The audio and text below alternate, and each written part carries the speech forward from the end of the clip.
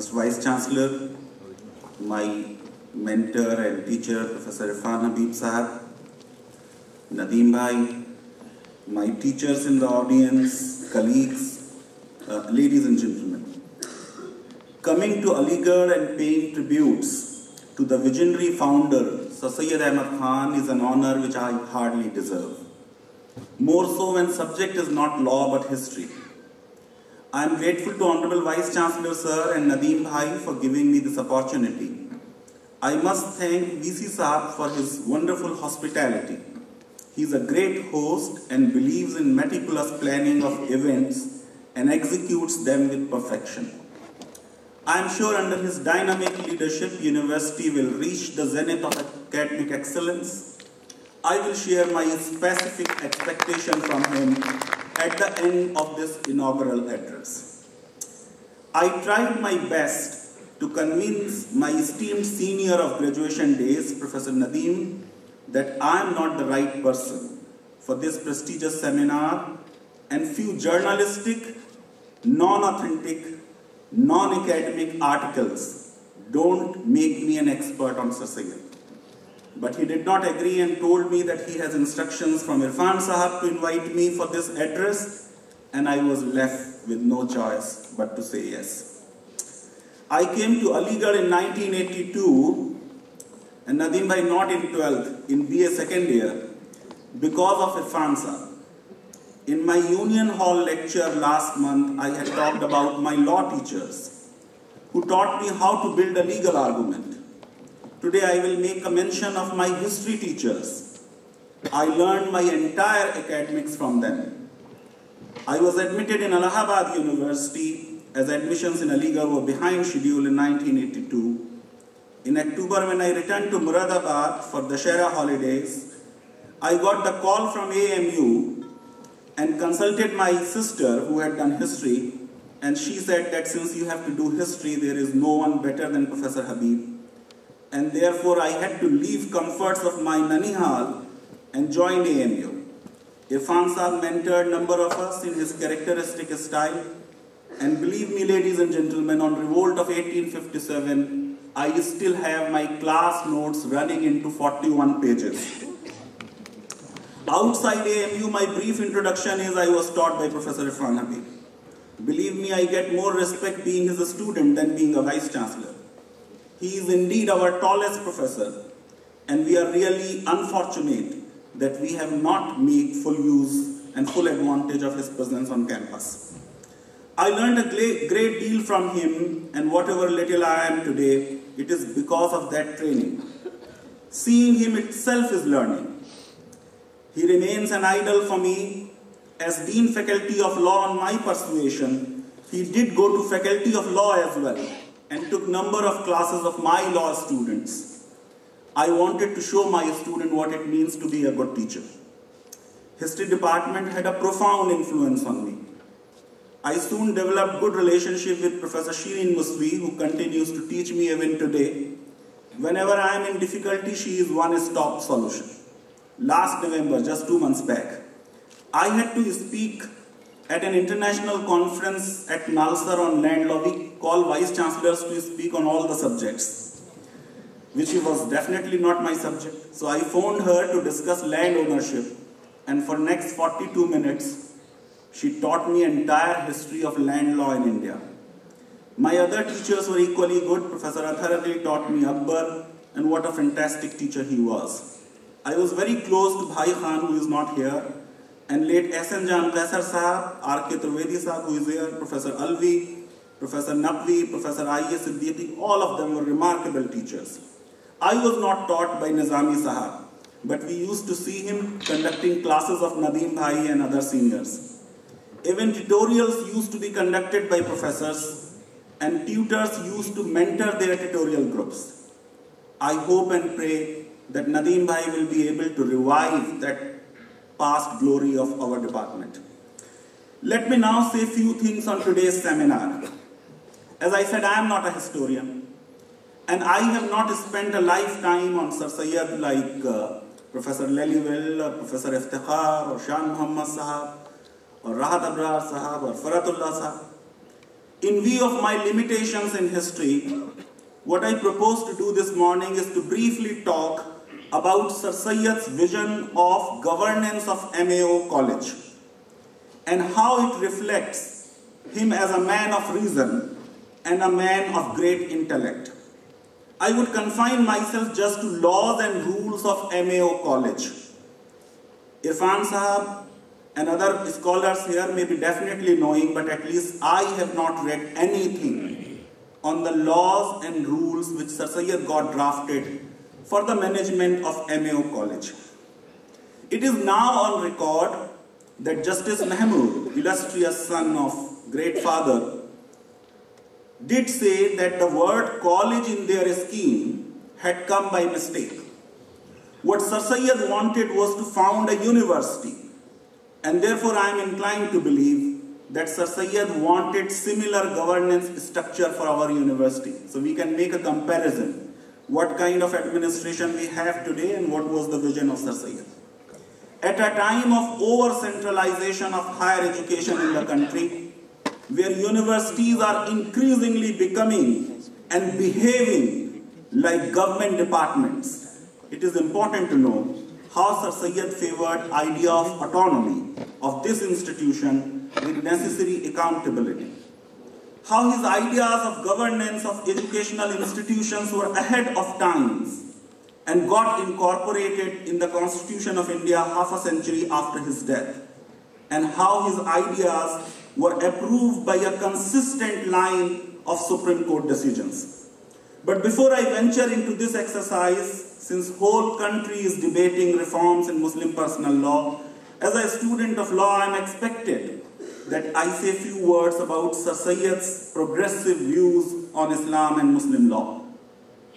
Sidney Hook in his book, The Hero in History, I study in limitation and possibility delineates his typology of an event making versus an eventful man in history as follows, and I quote, the eventful man in history is any man whose action influenced subsequent developments along a quite different course than would have been followed if these actions had not been taken.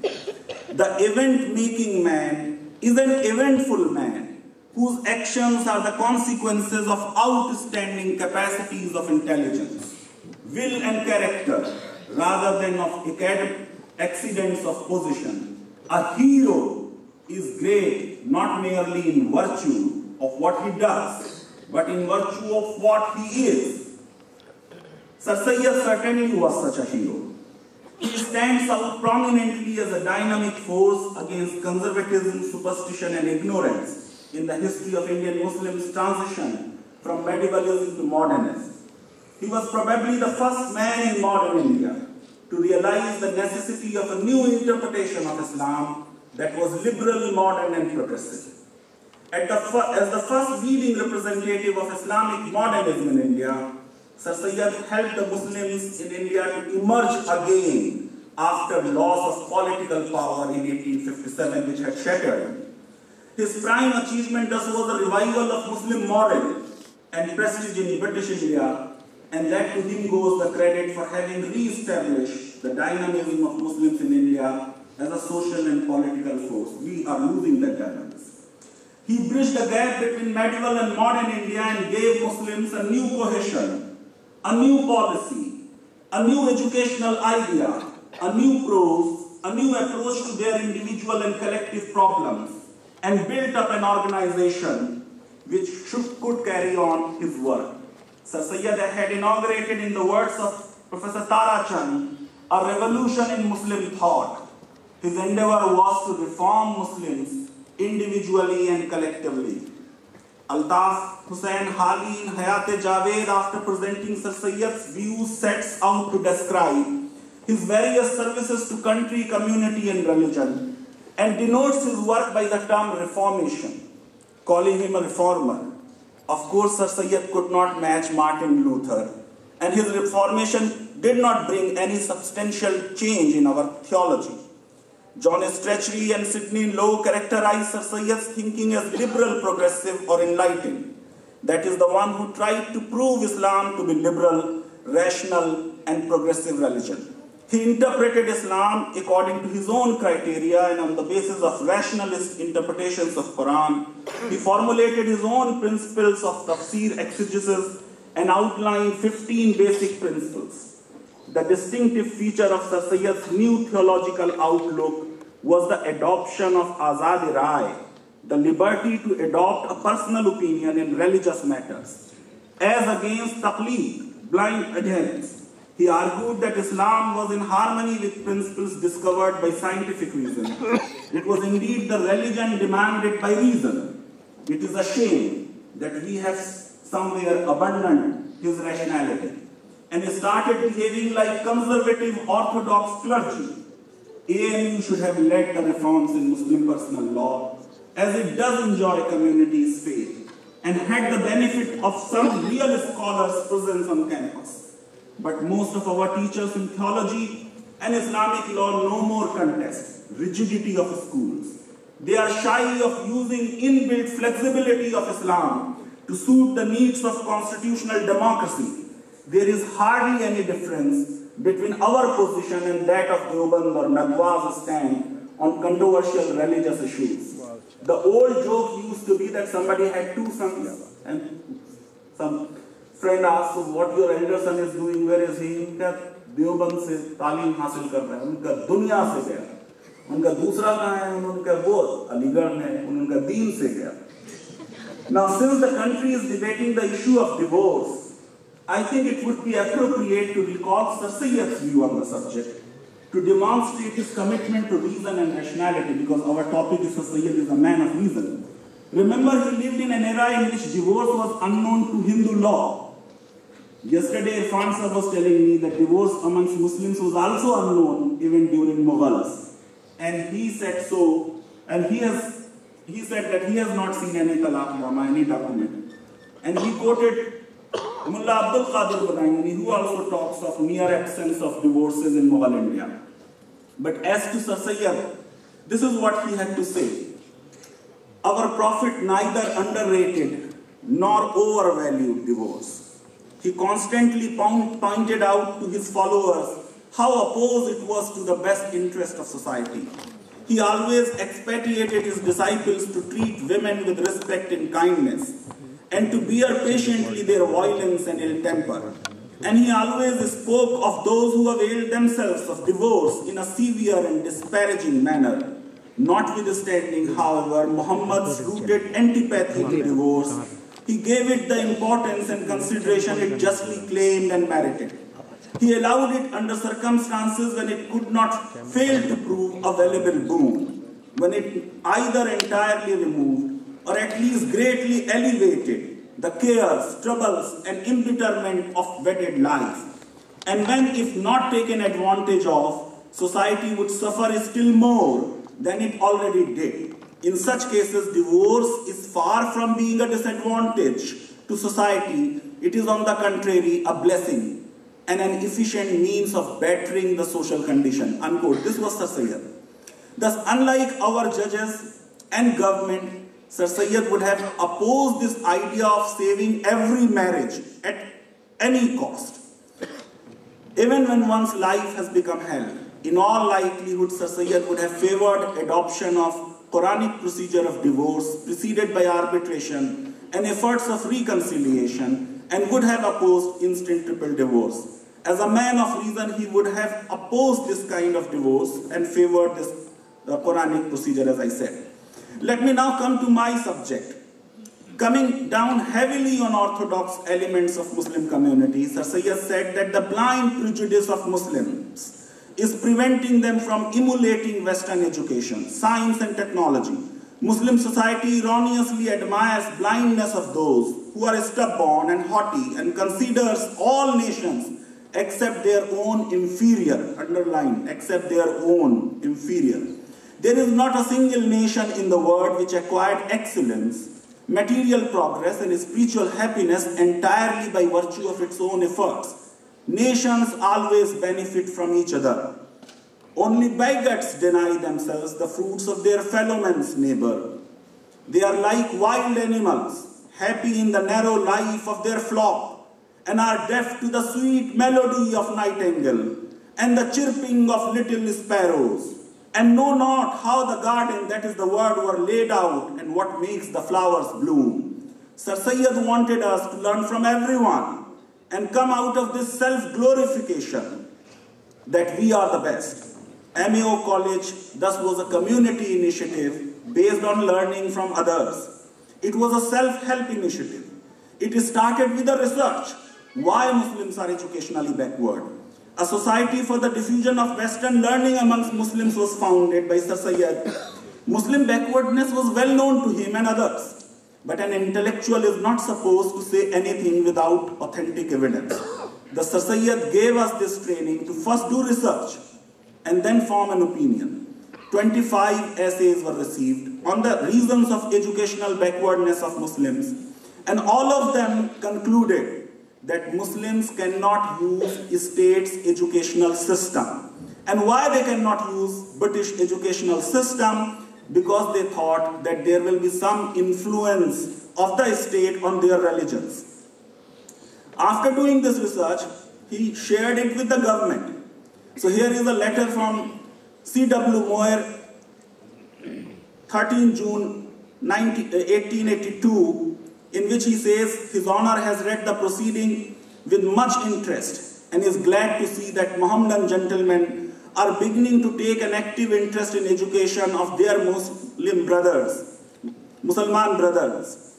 Any representation or specific proposal from committee shall always receive the careful attention of the government, unquote. As a man of reason, Sir Sayyid, based on the conclusions of those essays, came to the solution that solution lies in having and setting up a specialized institution. He took government on board. Why in more than a century? In spite of being a university with huge financial and human resources at our disposal, we could not produce a similar report on Muslim educational backwardness. Why we had to wait for such a committee to tell us what is the extent of our educational backwardness. In a secular India, tilting towards majoritarianism. Even today, issue of religion influencing minority students is still a cause of worry. Last week, school prayers prescribed by MHRD in Kendriya Vidyalaya were challenged in the Supreme Court with the plea that Hindu religious and cultural values are being imposed on the students through Om Shanti Om Prathna. Hundreds of cases in USA and Canada were similarly filed against Christian school prayers. This concern of Sir Sayyid as an intellectual who was able to see the future was also acknowledged by the framers of the Indian Constitution who incorporated Article 28 which prohibits any religious instruction in state institutions and permits imparting of such religious instruction in specialized institutions only. MAO College being such a special institution, could combine religious instruction with Western education. But after the constitution came into being, we made compulsory religious instruction for Muslims as optional and subject to the consent of parents. Similarly, country took note of his motto of MAO College, which was pure morality, large-hearted tolerance, and spirit of inquiry. And through a constitutional amendment in 1973, created a fundamental duty under Article 51A mandating all Indian citizens to have scientific temper, humanism and spirit of inquiry. It is a different story. That country is going in the opposite direction. And we have divorced scientific temper and spirit of inquiry. Look at the mad opposition to Padmavat. Let us now talk of Sir Sayyid's vision of administration and governance of MAO College. MAO College and AMU, in my opinion, are inseparable. All students of MAO College automatically became students of AMU in 1920. All employees of MAO College, including pensioners, also became AMU's employees and pensioners. All rights and liabilities, including debts, were inherited by AMU. AMU even today does not have power to change the names of buildings of MAO College. Our executive council and court does not have this power. I decided to talk of MAO College as even Supreme Court of India has admitted that MAO College was the nucleus of our university. Let us see what is the nucleus. Nucleus means the central and most important part of an object, movement or group, forming the basis for its activity and growth. Nucleus in physical terms means the positively charged central core of an atom consisting of protons and neutrons and containing nearly all its mass. Nucleus in a biological cell controls all major activity of the cell directly or indirectly. It contains chromosome which carries genetic information in the form of genes. Each chromosome is made of DNA tightly coiled many times around proteins called histones that support its structure. By the process of transcription, DNA makes messenger RNA, mRNA, which goes into the cytoplasm and controls the process of protein synthesis. If MAO College, as Supreme Court has itself admitted, was the nucleus of the university, then any structure formed by the university will be an offshoot of MAO College. This is due to the fact that the nucleus, that is MAO College, will control and regulate its own cytoplasm, that is university, and subsequent cell division, that is expansion of university, and the mother cell, that is MAO College, will transmit same genetic material to daughter cell, that is university, by the process of mitosis. Thus AMU cannot be and should not be different, entirely different from MAO College. MAO College has been technically dissolved. This is what section 4 of AMU Act says. But this dissolution is similar to dissolution of sugar in tea. We cannot see it, but it is very much there in a cup of tea. Let us see governance structure of MAO College and compare it with Aligarh Muslim University Act of 1920. We have not talked much about kind of administration Sir Syed vision for our university. What is administration of a university? Even some of the best brains of the country don't understand the true meaning of word administration. According to Supreme Court, administration means management of affairs of the institution. This management must be free of the control so that founders or their nominees can mold the institution as they think fit and in accordance with their ideas of how the interest of the community in general and institution in particular will be best served. University Education Commission appointed on 4th November 1948 with Radhakrishnan as its chairman in para 29 and 31 talked about autonomy of educational institutions and this is what they said I quote freedom of individual development is the basis of democracy. Exclusive control of education by the state has been an important factor in facilitating the maintenance of totalitarian tyrannies. In such state institutions of higher learning, controlled and managed by government, agencies act like mercenaries, promote the political purposes of the state, make them acceptable to an increasing number of their population, and supply them with the weapons they need. We must resist, in the interest of our own democracy, the trend towards government domination of educational process. Higher education is undoubtedly an obligation of the state, but state aid is not to be confused with state control over academic policies and practices. Intellectual progress demands the maintenance of spirit of free inquiry, unquote. All vice chancellors, in my opinion, must read this report and jealously protect autonomy of their universities. But autonomy does not mean right to maladminister. Right to administer does not include, as I said, right to maladminister. Governmental regulations made in the true interest of efficiency of instruction, discipline, health, sanitation, morality, public order, and like can certainly be imposed. But in the name of regulation, fundamental character of the institution cannot be altered. Supreme Court had laid down a dual test. The test of reasonableness and the test that it is regulative of educational character of the institution and is conducive of making the institution an effective vehicle of education for the community which has established it, MAO college laws and rules do reflect this as they guaranteed full autonomy with necessary governmental supervision. Let us see how this fine balance was maintained by Sir Sayyid. He drafted, got them drafted, detailed rules and laws for the governance of college and got them registered under Society Registration Act 1860, which deals with literary, scientific and charitable purposes.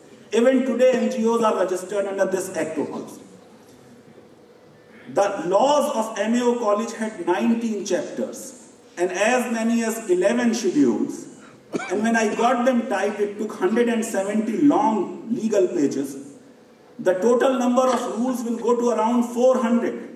Schedule 4 listed even numbers of 25 government promissory notes, किसी का 2000, 3000 उनके number भी दिए हुए हैं, of Bank of Bengal, whose total worth was just 47,000. It also mentions other grants of native states. Since as secretary, Sir Sayyid himself was running the show, this is an important point. Believe me, he made detailed rules to deny himself and other trustees absolute power to run the college. This is what the constitutionalism is all about. No lawmaker in the world will draft the law which denies or restricts his power. But Sir Sayyid, as a man of reason, and as a true intellectual did it with great sophistication, which I am going to demonstrate. We should also keep in view that Indian participation in lawmaking bodies was still minimal, and therefore the kind of laws which were drafted by promoters of MAO College do demonstrate legal drafting skills of a very high caliber. In my opinion, the 1920 Act also retained a sense of Sir Sayyid's vision of governance structure but over the decades, with like several other universities, AMU too has become a VC-centric university, and that is not right. Let us look at rule number one. Name. The college shall be called the Mohammedan Anglo-Oriental College. Shakespeare may have said what is there in the name. But in law, the rule of interpretation is Name will tell you what it is, and therefore name is all important. Rule 2, object of the college. The object of the college shall be primarily the education of Mohammedans, and so far as may be consistent therewith, of Hindus and other persons. The idea of having specialized institutions was approved by Supreme Court in number of cases starting from Kerala education until TMA in 2003 an apex court repeatedly said, in such institutions, there shall be only sprinkling of outsiders. These outsiders, the court said, are necessary as the conservation of distinct culture, language, and script is better served by propagating the same amongst non-members. The important rule was the basis of establishing this institution. In number of his speeches and letters, a Sayyid, without mincing words, had said the college is basically for the education of Muslims. In a letter to Khwaja Ihsanullah Bahadur of Dhaka dated 16 June 1867, thanking him for the 12th installment of rupees 2000, Sir boldly said, and I quote, the Mohammedan College has been established after great pains, as you already know, with the sole object of educating Musliman youth according to the best principles. There are a number of such quotes, I am skipping them. In another letter, he says most of the students who are being educated belong to higher classes. As an intellectual, we must admit what is our limitation. He is himself talking of class character of the institution he has established. Of course, he is not talking of higher castes, but he is saying higher classes of native gentry and families who, whilst possessing great influence in country, had hitherto kept totally aloof from government educational institutions and held the English language and European sciences in great abhorrence. Thus, a man of reason, Sir Sayyid was not talking of education of poor masses, but in the first instance, he set an achievable goal of education of Muslim elite. Similarly, he thought of men's education as a first priority and made some unkind remarks against women.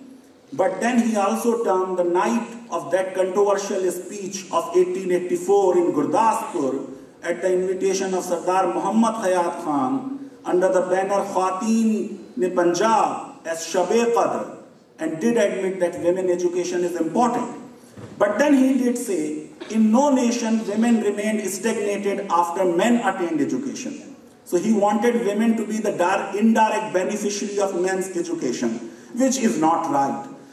His strange statement of women confining themselves to what he termed good education of their grandmothers was really disappointing and not in tune with his otherwise progressive views on issues like polygamy. Maybe he anticipated more intense opposition from ulema on female education and therefore did not take it up with desired zeal desired zeal. Coming to the number of trustees, the rule says that the number will be 21 to 70. These trustees subsequently became the university court. It is too big now, more than 200. But here again, there was not a single women trustee because the names are given in the schedule. Today, UGC is worried about the All India character of universities in general and AMU in particular. But what to say of Students, Rule 6 of the college fix geographical distribution of trustees. So you will get 40 from North West Province and Awadh, 10 from Punjab, 9 from Hyderabad, 3 from other native Muslim states, 3 from native uh, Hindu states. Character of the governing body reflects the character of the institution. Rule 9 laid down that no person other than a Mohammedan shall be appointed a trustee. The 1920 AMU Act retained this provision. BHU Act also had a similar provision in 1920. Of course, both AMU and BHU deleted it in 1951. Then in the governing body, look at the word he is using. Every trustee shall be ex officio governor. Because most of the trustees were Rusas and uh, feudals. So he wanted to show them that you are a governor of the college. And then he said that the trustees will be elected every year. Kindly appreciate involvement of government. No trustee can be removed except with a particular two-third majority. It was to ensure that trustees don't misuse their power of removal and remove dissenters or those who question Sir and his administration. Many good colleges in UP got destroyed because of bad trustees. Then about patrons and visitors, Rule 36 says trustees may select one or more than one patron of the college. And look at the names. Sir William Muir, against whom he is writing a book going to England, but involving him in the college. This is how an intellectual has to do. Then John Strachey, Auckland Colvin, Nawab Sir Bahadur Jung, Munir Dola, Muhtarul Mulk, all leading people. Then under Rule 38, Director of Public Instruction, he made him a visitor. Then these were not just some decorative names, which were there for decoration's sake. He gave them very important power. Rule 39, the patrons and the visitors were given power to inquire into every matter relating to college and give their advice to the trustees about the improvement, management and welfare of college. Then Rule 40, Secretary. Who is Secretary? Sir himself.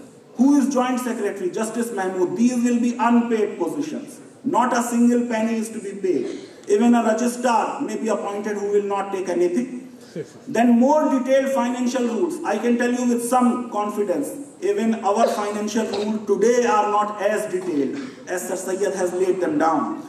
Just one rule I will say, the capital fund shall always remain permanent and safe and trustees shall under no circumstance sell or expend any portion or convert any property once invested in any one of the securities mentioned in Rule 2. Then look his sensibility and how sensitive he was about people's opinion, even though those opinions may be wrong. Rule 53. Whenever money or movable property of the kind mentioned in Rule 51 may be given to college capital fund by any Mohammedan on the condition that it shall not be invested so to yield interest. मुसलमानों में बहुत लोग कहते हैं interest haram Then he says that trustees shall invest in perpetual mafi land as mentioned in Rule 52, or in zamindari of any village or land or any kind. Similarly, about endowments, look how deep he could go. Rule 54 If any Mohammedan makes an endowment, on the condition that income derived from there shall be expended on the religious instruction of Shias or Sunnis. such income shall be expended in accordance with such condition. But if there is a non-Muslim, another rule, a non-Muslim can insist that whatever donation I give, it will not be used for Muslim education. It will be used for secular learning. Then himself limiting his power, Rule 60, secretary, who is secretary? Sir Sayyid cannot withdraw more than 10,000 without the prior approval of trustees. Then about accounts, we got right to information in 2005. It is incorporated in Rule 79. Anyone can come and see the accounts. Then Rule 9, Committee of Directors of Various Languages and Secular, uh, which is a kind of academic council. So there will be all professors, members, principal, headmaster, ex officio. Just nothing by two minutes. This committee of directors of Sunni and Shia theology. This is important because recent UGC's advice, at least what was reported in newspaper, merged the two departments. Look at it, how is see. Two committees, the committee of directors of Sunni theology and committee of Shia theology shall be formed in the committee of Sunni theology, no person shall be a member who does not accept the ordinary religious tenets generally accepted by Sunni community. And similarly for the community of Shia theology. Therefore, denominational freedom, sectional freedom, talking of maslaks, you will have that kind of freedom also. And then the rule, very interesting rule the members of the Sunni community look at this in particular, underline in particular, shall make every effort in their power to induce the Sunni students to attend the Jamaat prayers. This condition was not there for Shias. The members of Sunni committee shall make arrangements for fasting and Taraweeh and will read Quran as at fixed hours. And for managing committee and for this academic council, he said non-Muslims can also be members, non-Indians can also be members. And then about the amendment, very stringent condition. And then emergency powers, 1903 का अलीगढ़ में बहुत जिक्र रहता है. Look at the conditions he has put. 19.3 has come from here. Rule 140. In any case in which secretary, yani Sir Sayyid, is of the opinion that immediate action is necessary in the interest of college and in which it may not be practical practicable to obtain the previous sanction of trustees, the secretary shall have power to do on behalf of trustees any act or acts which they themselves might lawfully do and may for the purposes of such act incur on behalf of trustees any expenditure which may deem requisite, provided that in all such cases secretary has to give detailed report and justifications of using this power. Then governmental supervision, I already told you, this was to have a distant supervision, not administration, so that you don't use your power of administration. Because very specifically there is a rule which says that the government shall not have the power in the internal management of the college. Very detailed rules about suspension of teachers. Even today we don't have it. Somebody got suspended on not taking a CL. This was not possible in MAO college. Causes of dismissal, not three months notice, six months notice if you want to take an action. Punishment, very interesting, corporal punishment was permitted. But look at the rule. The principal may inflict corporal punishment on younger students of the school, but not college, with a light stick or a star, but not with cane England banned corporal punishment in schools in 1886, 100 years after this. And in India, we did it in 2010. Then about principle that he will have power to make timetable, but there was a very interesting rule. Provided Fridays, the hours of teaching shall close before 12 o'clock. When you consider closing Friday, recall Sir Sayyid. Let me now conclude. that Sir Sayyid had set very high standards for the college. He provided that the principal shall be a European, headmaster shall be a European, at least two professors shall be European. Over the years, we were not able to maintain those standards. We have not lived up to expectations of the founder and the expectations of even Antony MacDonnell, with whose speech I am closing. Let me quote. It is not too much to hope that this college, MAO College, will grow into the Mohammedan University of the future. And this place will become Cordova of the East. And that in these cloisters, Muslim genius will discover. And under the protection of British crown, work out that social, religious and political regeneration of which neither Makkah nor Istanbul afford a precedent. Unquote. I am sorry but as an insider, let me confess that we have certainly failed, Sir Sayyid. In three centuries, 19th, 20th, 21st, we have produced one Irfan. Let us admit that we have failed even MacDonnell and have not done enough to recover what he called discovering Muslim genius. Vice Chancellor, sir, I said what is my expectation in the beginning. Now I am saying at the end, I hope you will make sincere efforts in next five years to realize the expectations of MacDonnell and AMU will finally, finally discover Muslim genius. Thank you very much.